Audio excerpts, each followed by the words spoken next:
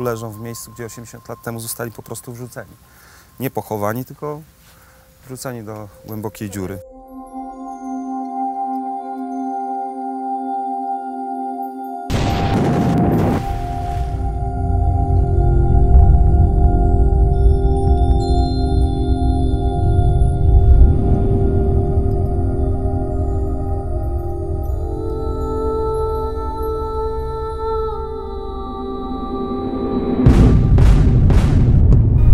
Der Seemachtstraum der Polen ist ausgeträumt.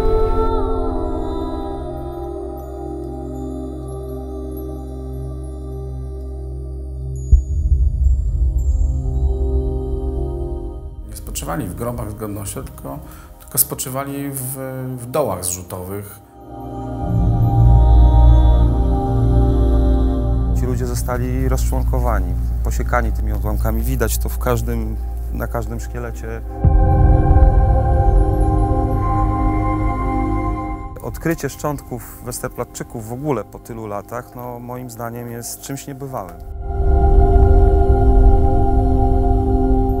To są pierwsze ofiary II wojny światowej, które przez 80 lat znajdowały się w ziemi, nikt o nich nie myślał, a to okazuje się po 80 latach, że leżą dalej w bezimiennym grobie. A w tym samym czasie odbywały się uroczystości, budowano monumentalne pomniki.